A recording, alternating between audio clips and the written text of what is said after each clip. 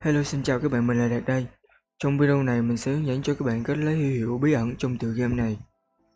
Để lấy huy hiệu này, trước tiên các bạn phải đi tới trạm xăng mobile. Và bạn sẽ được spam ở một số vị trí ngẫu nhiên. Và các bạn nếu đã ở trạm xăng mobile như mình, thì việc lấy huy hiệu sẽ đỡ mất thời gian hơn. Sau khi các bạn đã tới được trạm xăng mobile thì hãy đi theo mình để lấy huy hiệu nha.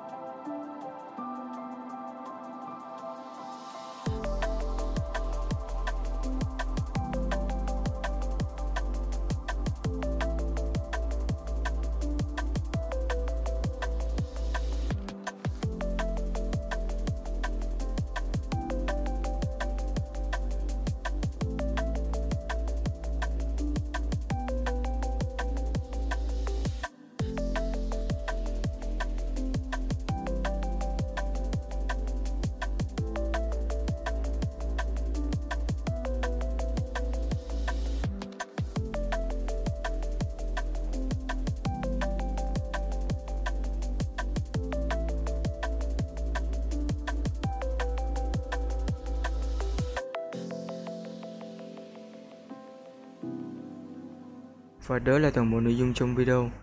Cảm ơn các bạn đã xem video này và nếu các bạn thấy video này giúp ích cho các bạn, hãy like, share và subscribe cho kênh của mình để đón chờ những video kế tiếp nha. Hẹn gặp lại các bạn ở video sau. Bye.